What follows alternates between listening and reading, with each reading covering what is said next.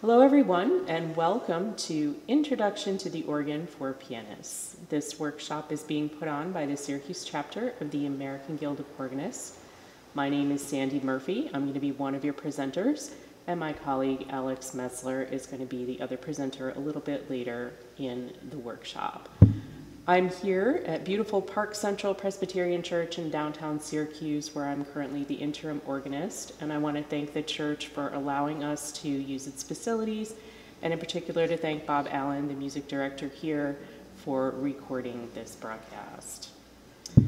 What we're going to do today is we're going to kind of go soup to nuts about how to begin playing the organ and this is assuming that you already have some keyboard skills as a pianist or an, another keyboard player. Um, we're going to do this with an eye towards allowing you or enabling you to become a substitute organist for a worship service. And if that's something you're interested in, please know that there is a tremendous need for substitute organists in the general Syracuse area. I encourage you to reach out to your local churches and make it known that you're available to help out if they need a substitute. It's a great way to serve your community, make a difference, and also have a little bit of extra income on the side if you would like that. If that's not something you're interested in and you're interested in just learning how to play the organ, we're going to cover that too. You can, all of the same principles that we're going to talk about can be applied to that. So for today's agenda, we're going to start by talking about some service playing basics, what you can expect, and how you can gather the information that you're going to need in order to play a service. Once we talk about that, we're going to go on and talk about playing the instrument itself. And we're basically going to do a walkthrough from the beginning, starting with turning on the power and putting on your shoes and how to position yourself on the bench, and walk through the console of the instrument and the various parts of the organ. We're going to talk a little bit about some playing considerations, including particularly some fingering considerations that might be a little bit different from how you would normally play the piano. And once we're talking, once we're done talking about that, we're going to cut over to Alex, who's going to give us some demonstrations on another organ of some of the things that we've been talking about. And then finally, we'll come back for a brief wrap-up discussion of some resources, and we're going to have a link below this video to a document that contains some of the resources that you might find helpful, both print resources and online resources. So let's get started. Service playing basics. Typically in a worship service, you're going to have two kinds of playing that you're probably going to need to do. You're going to have some solo organ playing, and you're going to have some accompaniment. The solo organ playing is likely to include a prelude, which is generally a softer, more meditative piece, and a postlude, which might be a little bit louder and a little bit more celebratory that comes at the very end of the service as folks begin to exit the church. Within the service, depending on your denomination and the particular service for that day, you may have additional playing. Um, some solo playing might include an offertory piece if there is to be an offering uh, communion piece if there is to be a communion. And you might also have um, a vocal soloist or an instrumental soloist that you might need to accompany. You might have a psalm, which might be a combination of accompanying a cantor and possibly a congregational response. And then you'll also certainly have some hymn playing. And each one of these types of playing is a little bit different as you already know from playing the piano. The same general principles apply if you're going to be accompanying a soloist. You want to make sure that the balance between the soloist and your instrument is good.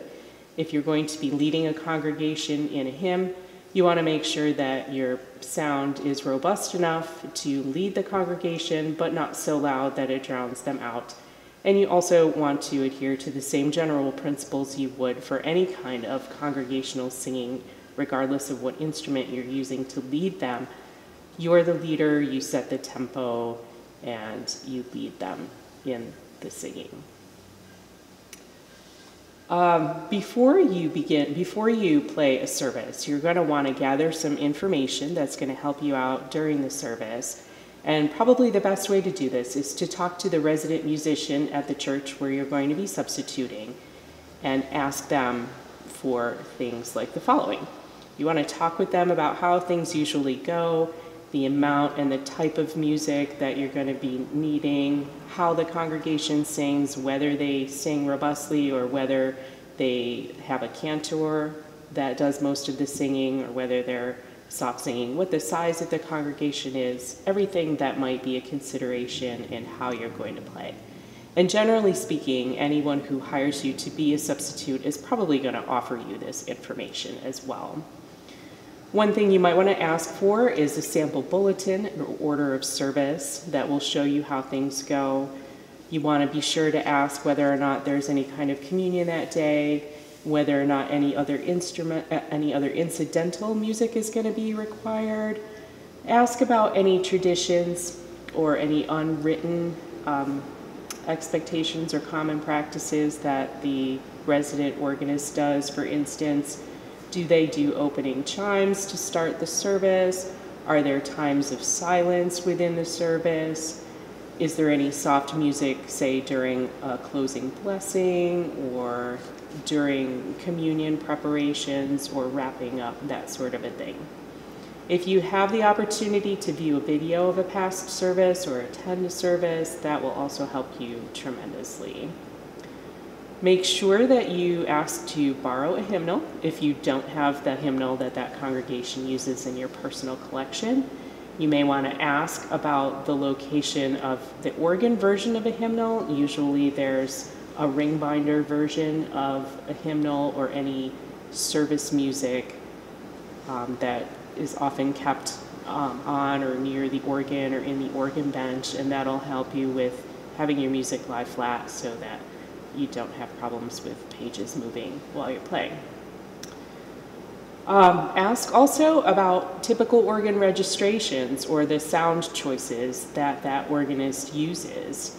Um, I'm sure they'd be glad to share with you what they normally do for, say, hymn playing and solo playing and accompaniment. And they probably can tell you if they have preset res- registrations that are usable by some preset buttons, which we'll talk about a little bit later in our presentation. And you may be able to just use what they already have set up on their organ. Um, be sure also to ask about location of any power switches. You'll probably be able to find it on the organ, but it's different on every organ, so be sure to ask about it and also Make sure to ask if there are any additional power switches. Some organs may have a switch both on the organ itself and somewhere on a wall that controls power in a more general way. So just be sure to ask about anything that you need to know.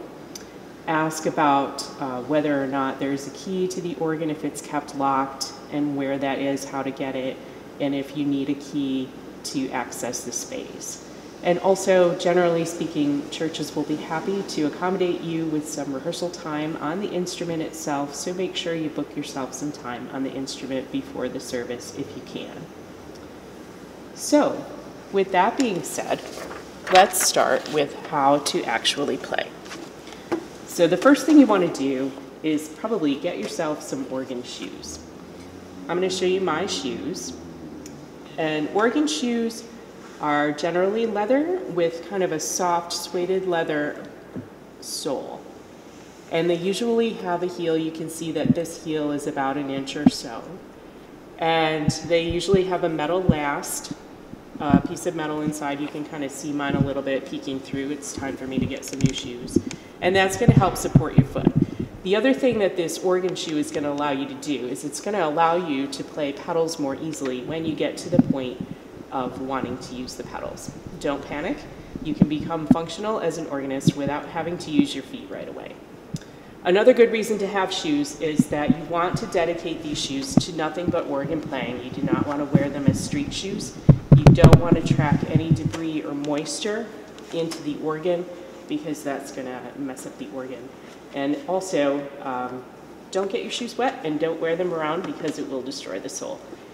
The smooth sole also is going to allow you to slide your foot more easily on the pedals, so it's going to make playing a little bit easier. And the heel on the, on the shoe is also going to help you with the ability to play the pedals with both your toes and your heels and make that transition a little bit smoother. Um, we are going to list on the resource document that we're going to link to uh, the website where you can buy organ shoes, organmastershoes.com.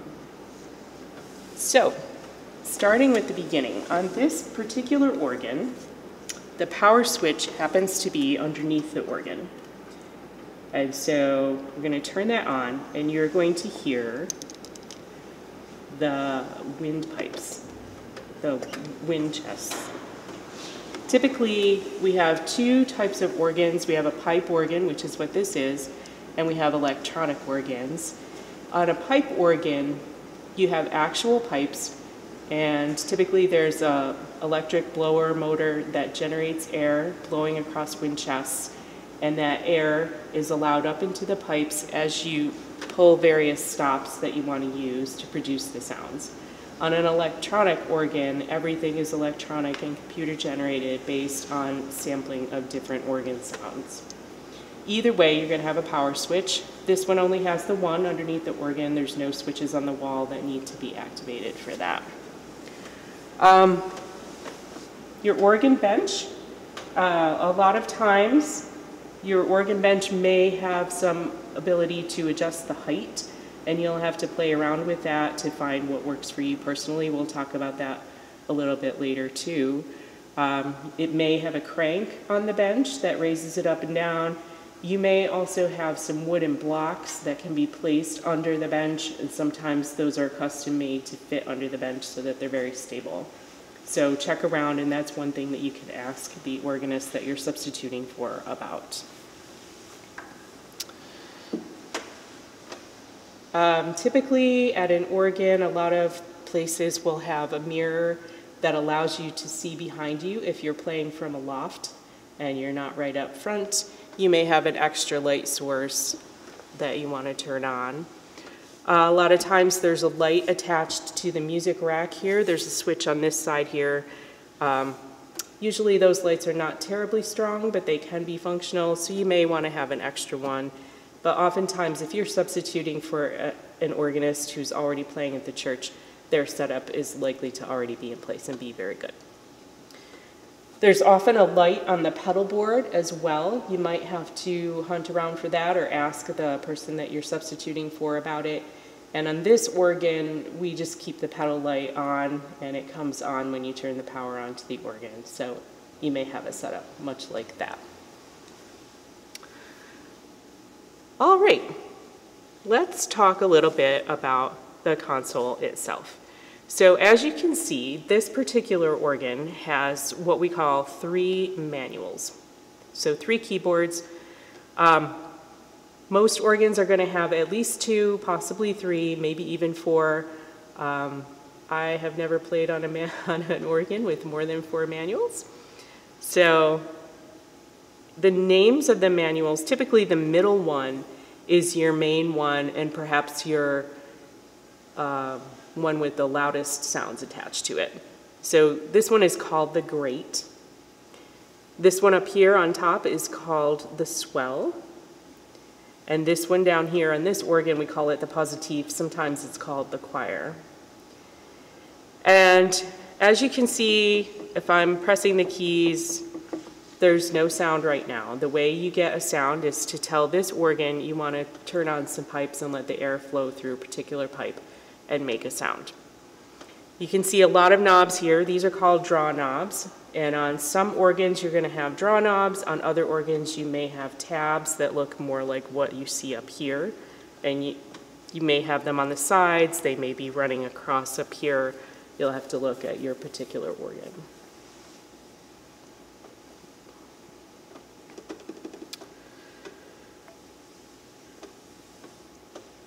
The way that the knobs are arranged on this particular organ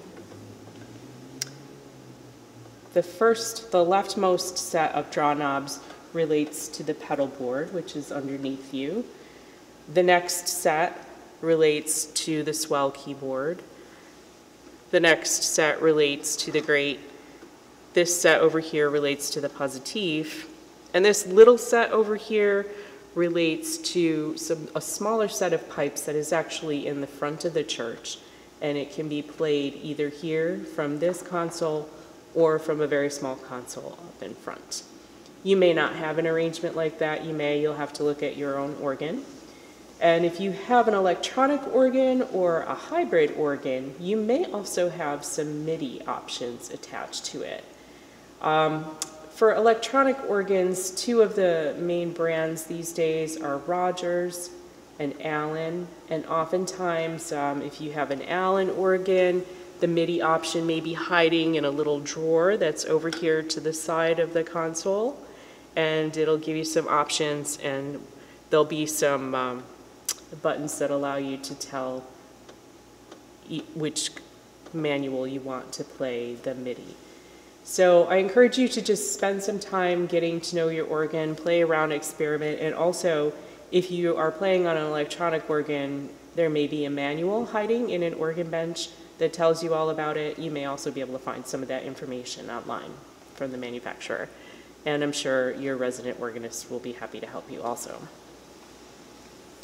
You'll see that each one of these draw knobs has a name of a stop on it that is descriptive of the type of sound that you can expect.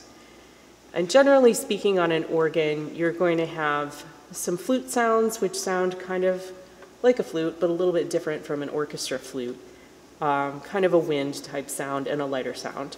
You'll have some what we call principal sounds that sound like a typical organ sound, and then you'll have some reed sounds that sound a little bit more like baby brass or some of the reed woodwinds like an oboe, that sort of a thing.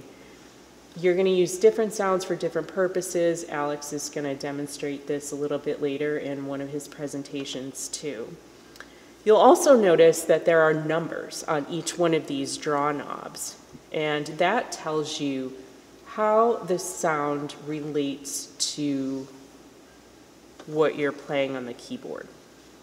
Generally on a pipe organ, the number eight that you see is going to represent a sound that is going to sound where you expect it to on a piano keyboard.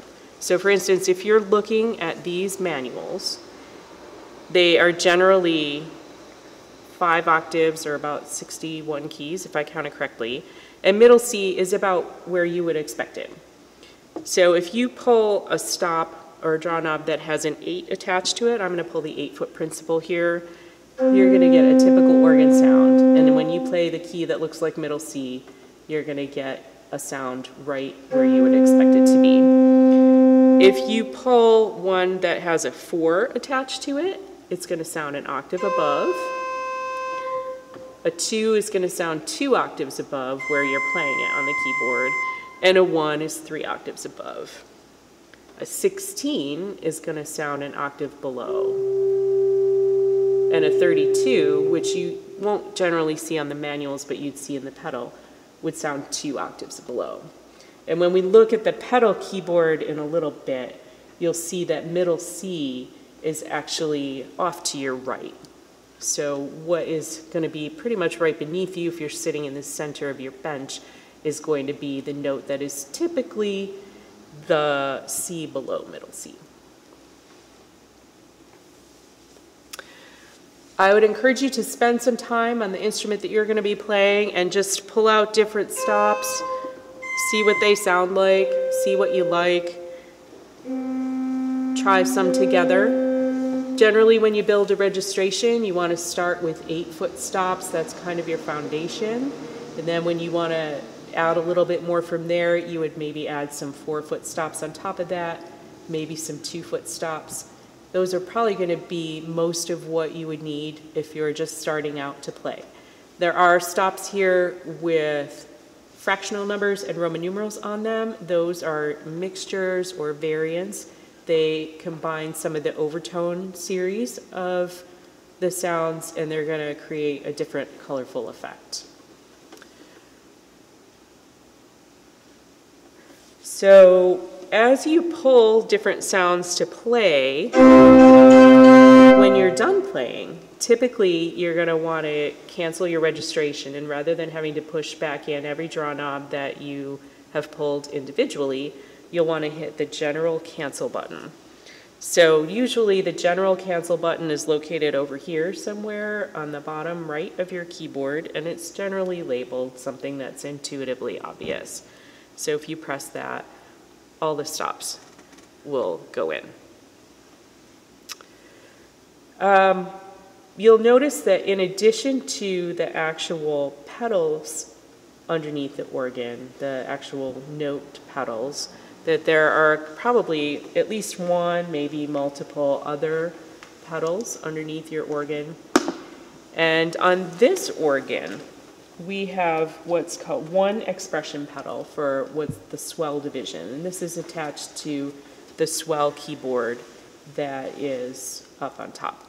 And what it does is if you're playing the uh, swell keyboard, it literally, on a pipe organ, often physically closes some wooden shutters that house um, the pipes that make the sound on this keyboard. And then as you push the pedal forward, much like you're pushing down a gas pedal in a car, it's going to open those shutters and make the sound louder. And what this does is it allows you to have some color variation or some control over your volume as you're playing so that you can do some shading. You'll have to look on your organ to see how many expression pedals you have. You may only have one for a swell box on a pipe organ. You may have multiples on an electronic organ. You may have one for each manual, which can be very convenient. You'll also see um,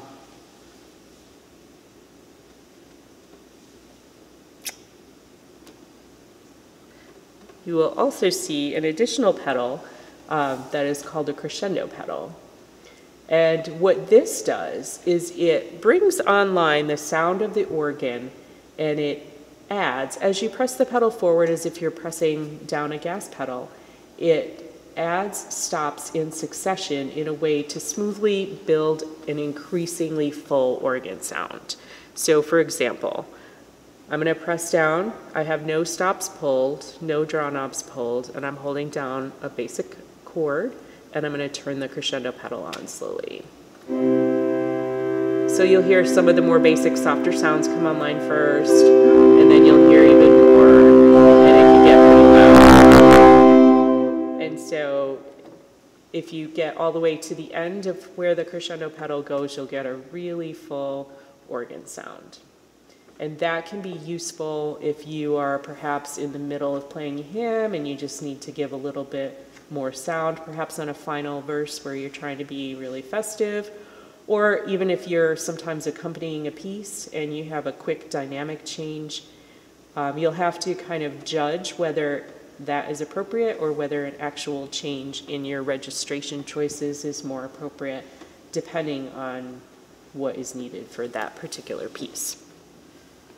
So if you need to change your registration in the middle of a piece, how do you do it quickly? Or if you need to change, say, from a prelude to a beginning hymn rather quickly, it can be pretty time consuming to individually pull knobs. You'll see here on this keyboard that there are buttons kind of below each manual. And what these are, are preset buttons. They're basically combination pistons that allow you to tell the organ, all right, on this preset, I want to attach these stops. On this preset, I want to attach these stops. And then with a touch of one button, you can have all those stops pulled for you at once. You'll see on this particular organ, and you'll have to look on the organ that you're playing to see how it's set up. Um, if you have an older organ, you might, it's possible that you might not have any presets, but you're likely to have at least some. On these, there are five presets for each manual that are dedicated to that manual alone, so those will only work with stops associated with that particular manual. And then over here you have seven general pistons which are going to work with the whole organ. So anything that you pull on any manual is going to be saved to that. The way that you set these, so for example, I just pressed general number one. to set these, you would pull out the stops that you want. So I've pulled a couple choices on the pedal, I've pulled a choice, couple choices on the swell, I've pulled a choice on the great, I've pulled a choice on the positif, and I've actually also used a coupler, which we haven't talked about. These buttons here are a way to add from one keyboard to another, and typically you can add from any keyboard to the great keyboard. You pull out, you set what you want, you press in, there's typically a general set button, and it's usually somewhere over to the left on the bottom of your console here. You push that in, you press the button you want to set it to, you let go of that button, you let go of the set button, and the next time you press that button, there are your choices. And it's a good idea to double check after you set um, your registrations. Um, it's easy to not be thorough about pressing in and to think that you have pressed something and then turn, it turns out that you might not have it. So definitely I encourage you to double check your presets. Also, some organs, um, this one has some what we call memory banks, so different levels of menu uh, presets. And on this, you have seven general pistons, um, but there are also multiple memory levels where, so you can save seven general settings.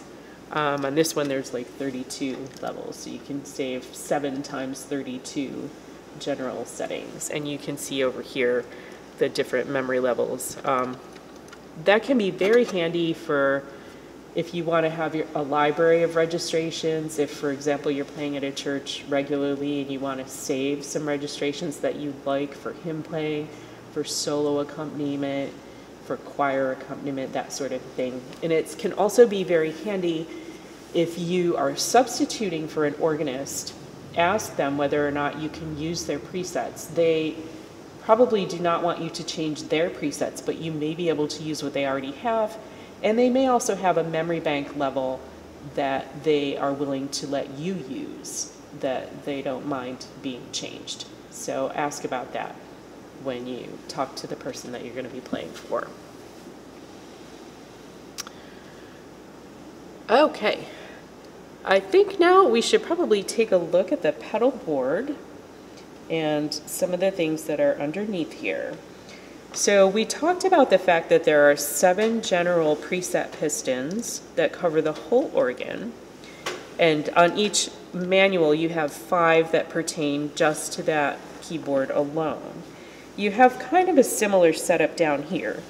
You can see these toe pistons here and these are labeled general on this organ, one through seven, and they are basically duplicates of the finger buttons that are up top. So if you're busy with both hands and you want to change quickly to another set of registrations, you can just hit the corresponding toe piston and you can hear these changing as I go along.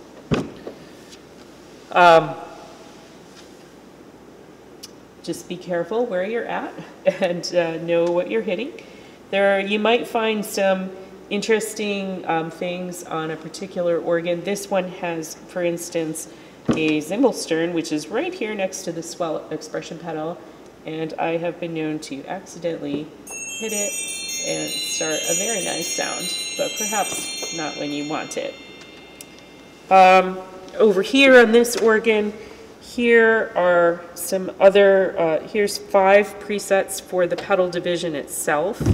So this kind of mirrors the whole setup that you have five for each individual keyboard. These are the five individuals for the pedals themselves. So if you have certain pedal combinations that you like and you want to be able to toggle back and forth in a piece where maybe part of the piece is soft and you want to play it on a swell keyboard with one registration, part of it's loud and you want to play on the great with another, and you need to change your pedals accordingly. You'll also see a few of the couplers also down here mirroring what the buttons up here that allowing you to take, say, the swell keyboard to the great or whatever. Um, these are allowing you to take say, for instance, great to pedal. So anything that you have pulled on the great keyboard, say an eight foot principal, if you want to duplicate that on the pedals, if you want that sound to also be playable from the pedals, you can do Great to pedal and it basically couples that sound. Now we mentioned earlier on the pedal board, typically um, an AGO standard pedal board has um, two and a half octaves and is curved and the pedals are spaced the same way on every pedal board that's going to be the AGO standard. So you can have some consistency. You're going to want to be aware if you're playing maybe an older instrument or a historic instrument or a different type of instrument like a tracker instrument, it may have a different type of paddle board. So definitely check it out before you play. But here, this is an AGO paddle board. Here's middle C, it goes up to a G above middle C, and the eight foot stop is sounding exactly where you would expect it to. So this is here the C below middle C. You typically play your pedals with, you can play with both toe and heel. Toe is maybe a little bit more secure, but heel also allows you to kind of go up a scale or change to a different note. You can also transfer your weight. If you start out on a toe, you may want to slide a little bit, switch to the heel, and that frees you up down to the next note or up, for instance, whatever direction you're going, or to an accidental with your toe. And there is a lot more. One of the resources we have listed in the resource document is a series of 30 videos that are free to anyone on the agohq.org website. That's the website of the National American Guild of Organists Association. And they have done a very nice series of 30 videos which go into a lot more detail than we're doing in this workshop about how to learn to play the organ. And you're free to peruse that and they go into much more detail about pedaling technique, playing technique, registrations, how to build one, all of those considerations. So I would definitely encourage you to look at that.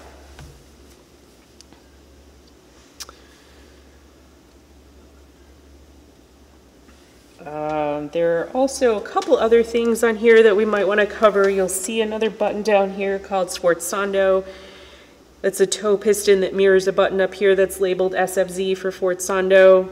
And that is basically almost like a crescendo pedal with a touch of a button, you get a really big organ sound. Probably not going to want to use that in a typical service, but if you ever need it, that's what it's there for. You might find some buttons labeled Tutti. You might have a couple of them, Tutti 1, 2D2, and they're basically very full organ sounds that are kind of pre-put together, similar to the way that a crescendo has a full organ sound attached to it when you press the pedal all the way in. So we've pretty much covered everything that you're going to see on the console. Um, so let's talk a little bit about some playing considerations before we flip over to Alex, who's going to do some demonstrations of some of the things we've been talking about. Um, you want to position yourself on the bench, kind of in the center of the bench, and you want to kind of test out. You want to be sitting right on your sits bones. You want to kind of be over maybe a D or an E or the C in the pedal board that's below middle C right there you kind of want your feet to be able to touch the pedals, but you don't want to be having to put weight on them if your feet are dangling. Um, typically on the organ bench, there's a piece of wood that spans the whole bench underneath that you can hook your heel onto to rest your feet. If you're not using your feet for an extended period of time, that can be very helpful. Um, you want to test out your relationship to each of the manuals. It's going to be different. So there's not going to be one same position for every manual. You want to kind of be in the center of the bench, maybe a little bit forward, so that you can kind of go forward and back a little bit if you need to, to kind of adjust your relationship to the keys as you play. Um, generally speaking, you want to be able to pivot a little bit on the bench to play different pedal notes. And again, you're not gonna, if you're just starting out, don't worry too much about this. It's, there's plenty of music out there for manuals, and it's perfectly possible to play a very nice service without even using your feet. So yes, if you want to learn, there's a ton to learn on the organ, and you can very easily be a lifelong learner on the organ, but you do not need to be intimidated to get started. So no worries. Um, some fingering considerations. Let's talk about it a little bit. On the piano, in order to make a legato sound, you have the benefit of using a damper pedal to sustain some of the notes that you've already hit. You don't have that on the organ. You also don't have um, the same kind of touch sensitivity. No matter how hard or how quickly you hit the keys on the organ, it's not going to change the volume. What changes the volume is the different stops that you pull and maybe an expression pedal if you have one attached to that particular manual. So if you want a legato sound in the organ, you're going to have to do it with your fingers.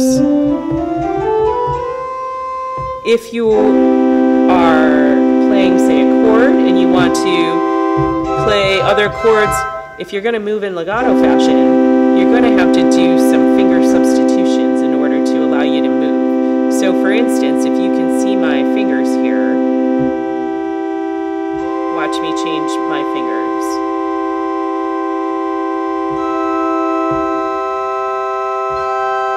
So you hold down notes and move your fingers so that you can get a finger free in order to move to other notes. And that is something that will come over time as you practice doing it.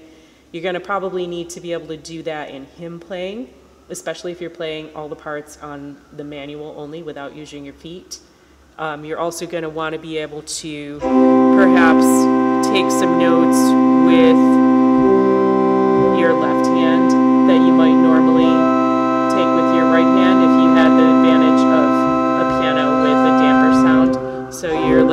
might have to kind of pick up some notes in the tenor line if you're playing a four-part hymn setting. Um, prior to about Bach's time, the fingering in the practice and playing the organ was not necessarily a fully legato sound. It was what might be called ordinary touch or a slightly detached sound. Not necessarily a true staccato, but maybe something that has just a little bit of separation between the notes. And something that went along with that was different fingerings were in use at that time too. And I am far from an expert on this, but rather than turning the thumb under and doing a full legato, you might have practices out there that actually moved the whole hand and just repositioned the fingers. And one of the nice things about that is that it allows you to play some things very quickly that would be very difficult to play if you were trying to play a truly legato line. Um, a couple of the resources that are listed on the document that goes with this video, particularly the organ method resources from Oxford University Press, go into this in much more detail. And you can also find more information about it in that series of videos on the AGO website. And it can allow you to really play some very sparkling repertoire without um, hurting your hands or having to work as hard as you might think you have to. So those are some general things to keep in mind. Um, and with that, let's cut over to Alex Meszler, who is going to demonstrate a few of the things we've been talking about. He's going to talk a little bit about registration, He's going to demonstrate some hymn playing and he's going to play a couple of pieces for you, both legato and non-legato that are very easy and sound very beautiful. So they are great pieces both for beginning players and also for experienced players when you need something in a pinch.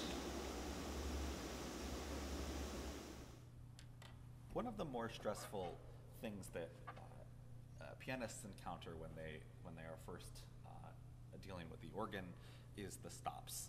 Um, yes, it looks very stressful, but in reality, it's not that complicated. It gets very complicated when you are trying to perfect uh, extremely hard repertoire and things like that.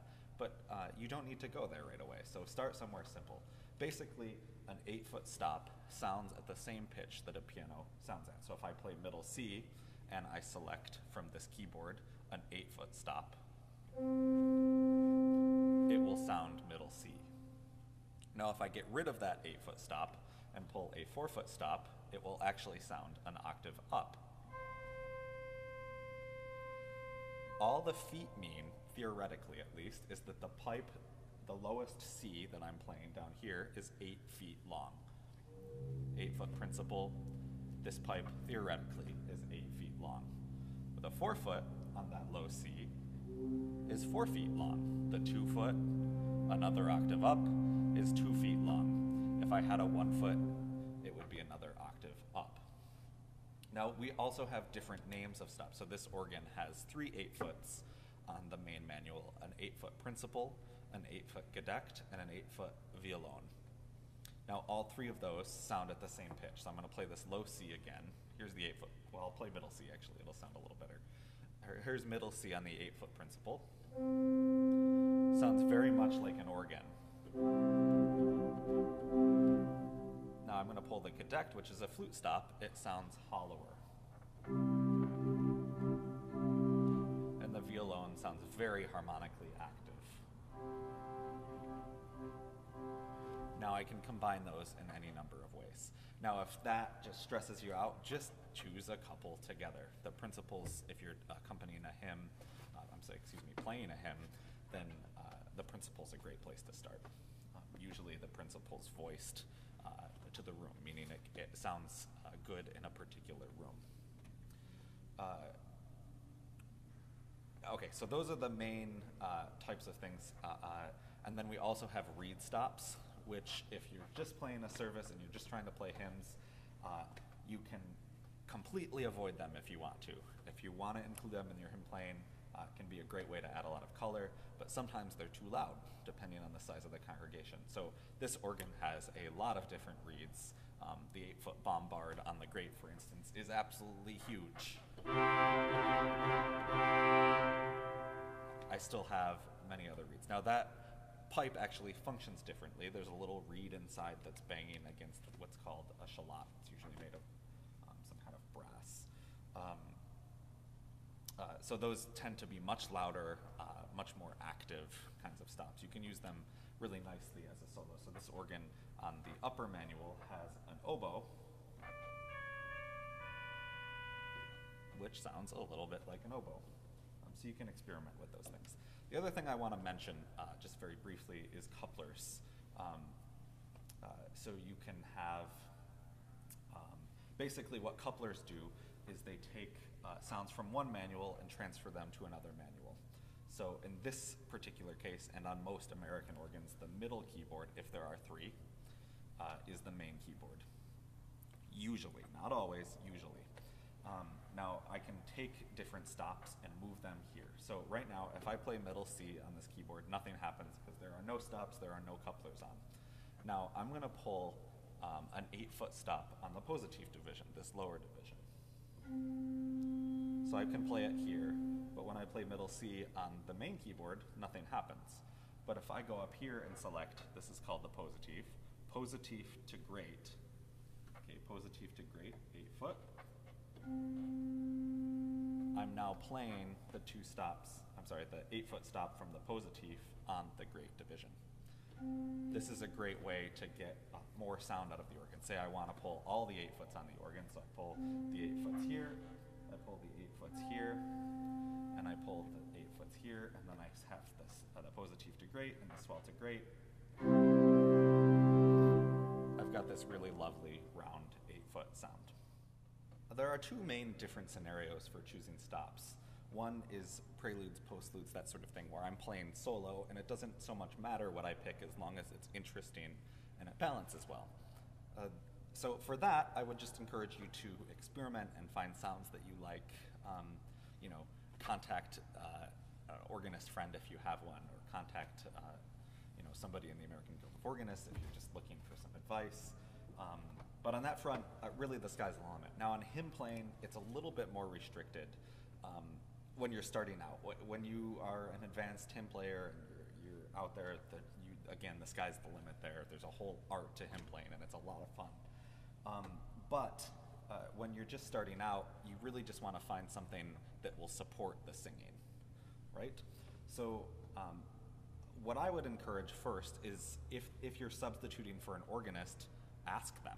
Ask them, what stops do you use to typically accompany um, a hymn? There, it's not embarrassing to ask. In fact, it's really helpful because it can really stop um, some really uh, surprising things from happening during the service. So if they have a small congregation, uh, you're going to use a smaller sound. Um, remember also, as you're selecting stops, you are the leader for the hymn playing. It's not like accompanying a soloist. You're actually um, the person leading the singing. So your phrasing, all of those things. Um, so your registration, you want it to be full and, and strong and, and, and supportive, but not overpowering. But you, on the other side, you don't want it to be underwhelming. So it really depends on the size of the room and the size of the congregation. So these are questions ask the organist, um, uh, or if there isn't an organist, ask um, somebody in the room, play for them, and ask, hey, does this seem uh, to be the appropriate volume? Um, so a great place to start is just with a, a, a smaller principal chorus, like eight foot and four foot um, principals, um, and you can get kind of a, a full sound that way.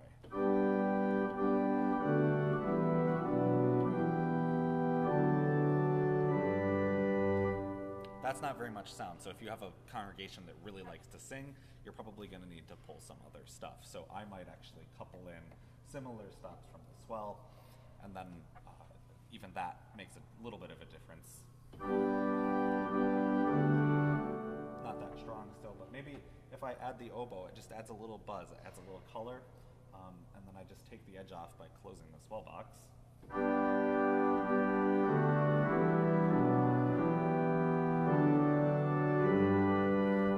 And for my congregation, that tends to work.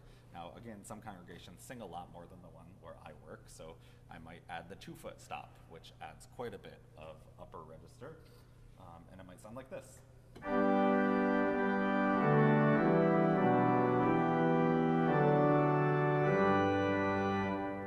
All this is to say, do some research. How much does the congregation sing? How big is the room? How loud is the organ? Ask for help. Probably the most frequent thing you'll be asked to do as a substitute organist learning to play is to play hymns. Now, typically we take the bass part with our feet, but it's possible uh, to still play a hymn and not have to um, completely uh, use your feet. Um, however, it can sound uh, not so great um, if you don't do a few things. Let me demonstrate. If I just play this as if it were a piano, um, you'll see that it's it's not horrible, uh, but it lacks some of the uh, qualities that we desire in our organ music.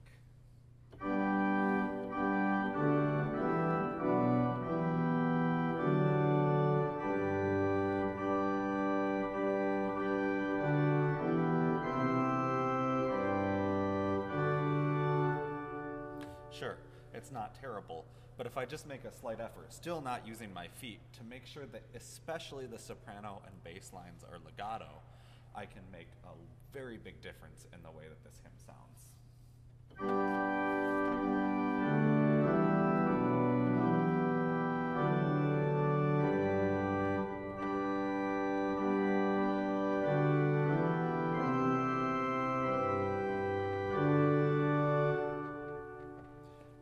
It makes a big difference. Now, I still breathed at the end of the phrase, so it's important, I think, to sing these things uh, when you're trying to learn, uh, because ultimately what we're doing is uh, leading uh, the singing. So I need to make sure that I breathe so that people know that they can breathe. So at the end of the line,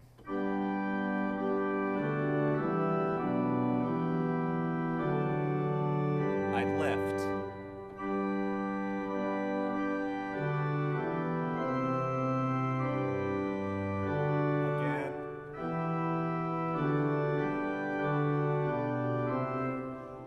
Etc. So uh, just by making the soprano and bass voices legato, I've done a lot to make the organ sound like an organ. I want to play for you a short piece entitled Aria by Huw Morgan, a living Welsh composer. Uh, this piece was composed in 2017, um, and it's a really lovely piece for uh, beginners. Um, but I play it all the time. Um, sometimes simple is better. Uh, so basically, it, there's three different texture, three different voices creating one texture. Uh, you've got the left hand, which has this uh, sort of repeating uh, motive pattern thing, uh, where it happens on the offbeats. You can see here, one and and three and four and etc. And it continues like that throughout the piece, occasionally changing the notes, adding a note here and there. Uh, that is played on one manual, so one keyboard uh, with one type of sound. Usually I choose to do um, some sort of string there. So this particular organ has a stop called the viol de gamba. Um, but you know, anything could work. If you had a, a flute or something, it would be just fine. Um, on the other manual, so my right hand is where the melody is going to come in. And here I uh, uh, chose to use uh, just a flute, this really clear uh, flute on this organ. It's called the Gedeckt. Um, and then finally, in my feet, yes, this piece has feet, but you can do it. Um, all it is is whole notes tied to whole notes tied to whole notes, and there are only three different notes total. Um, and you just hold it when it comes to it, and it creates this really lovely texture. Um, uh, I would say the one challenge with this is figuring out a way when the right hand is doing two, uh, two voices, which only happens once, um, to make sure that the upper voice especially stays legato. Um, so only break when there are phrase breaks. So uh, he actually has a repeat in this piece. Um, I am, just for the sake of time, but also for the sake of not worrying about uh, a registration change, so changing the stops, um, I'm just not going to play it. But um, I would recommend you play it even if you don't change the sounds like he asks. So here is Aria by Huw Morgan.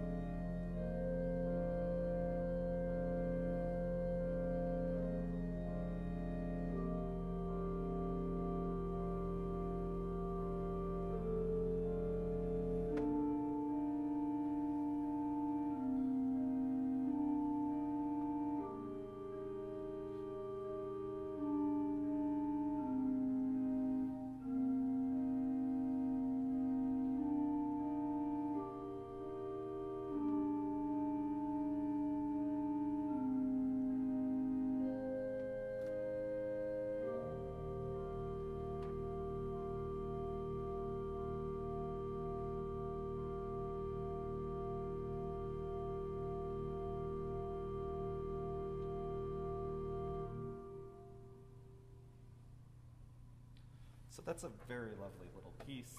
Um, again, only three different pedal notes, uh, which should make it totally um, uh, doable for any pianist just starting out. All you need to do is plop your foot down where it goes. Uh, three different times. Yeah. Sandy has spent some time talking about the differences between uh, legato playing and non-legato playing, or sometimes it's called ordinary touch.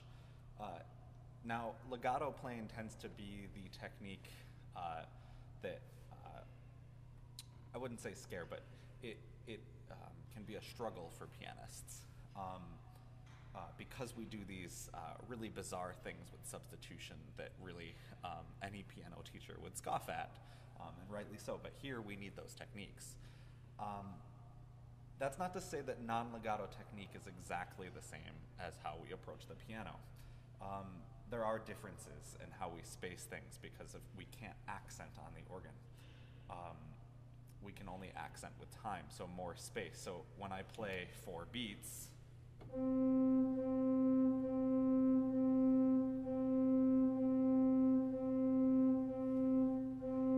that beat one feels more like beat one, not because it's louder, but because there was more space before it. Listen again.